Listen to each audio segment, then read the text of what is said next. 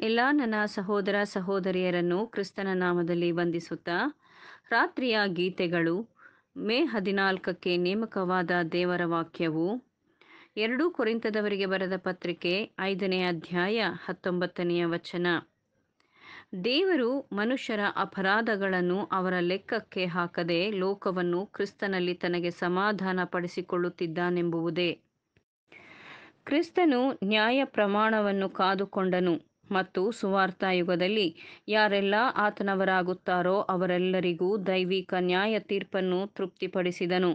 ಯಾರೆಲ್ಲ ತಮ್ಮ ಹೃದಯಗಳಲ್ಲಿ ನ್ಯಾಯ ಪ್ರಮಾಣವನ್ನು ಕಾದುಕೊಳ್ಳುತ್ತಾರೋ ಅಂತಹವರಿಗೆ ಆತನ ಅರ್ಹತೆಯನ್ನು ವಿಧಿಸಲಾಗುತ್ತದೆ ಮತ್ತು ಅಂತಹವರು ತಮ್ಮ ಬಿದ್ದು ಹೋದ ಮಾಂಸದ ದೌರ್ಬಲ್ಯಗಳಿಂದ ಆ ನ್ಯಾಯ ಪ್ರಮಾಣವನ್ನು ಸಂಪೂರ್ಣವಾಗಿ ಕಾದುಕೊಳ್ಳಲು ಅಡ್ಡಿಯಾದಾಗ ಆತನ ಅರ್ಹತೆಯನ್ನು ಅವರ ಮೇಲೆ ವಿಧಿಸಲಾಗುತ್ತದೆ.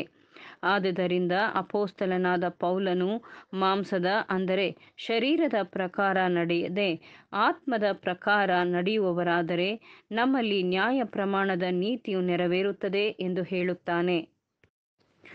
ಮೊದಲನೆಯದಾಗಿ, ಅವರ ಮರ್ತ್ಯ ದೇಹಗಳಿಗೆ ಅವರ ಶಾರಿ, ಶರೀರಕ್ಕೆ ತನ್ನ ಅರ್ಹತೆಯನ್ನು ಅವರ ಮೇಲೆ ವಿಧಿಸಿ, ನಮ್ಮ ವಿಮೋಚಕನು ಅವರ ಸ್ವಾಭಾವಿಕ ಅಪೂರ್ಣತೆಗಳನ್ನು ಮರೆಮಾಡುತ್ತಾನೆ. ಎರಡನೆಯದಾಗಿ, ಆ ಶರೀರವು ಎಷ್ಟೋ ಶ್ರದ್ಧೆಯಿಂದಿರುವುದರಿಂದ, ಎಷ್ಟೋ ನೀತಿವಂತಿಕೆಯಾದ್ದರಿಂದ ಅದು ಯಜ್ಞವಾಗಿ ಅರ್ಪಿತವಾಗಿದೆ.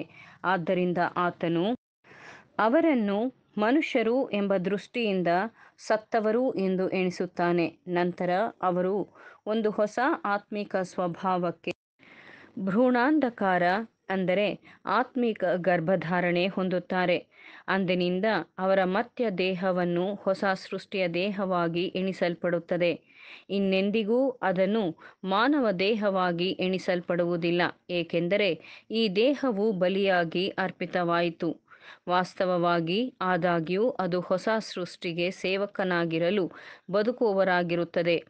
ಇನ್ನೂ ನಿಜವಾಗಿ ಮನುಷ್ಯನಾಗಿರುವುದರಿಂದ ಪ್ರಸ್ತುತ ಈಗಿನ ಜೀವನದ ಕೊನೆಯವರೆವಿಗೂ ಅದಕ್ಕೆ ಧರಿಸಲು ನೀತಿಯ ನಿಲುವಂಗಿಯನ್ನು ನೀಡಬೇಕು. ಇದನ್ನು ರಕ್ಷಕನಿಂದ ಒದಗಿಸಲ್ಪಡುತ್ತದೆ. ಆಮೇನ್.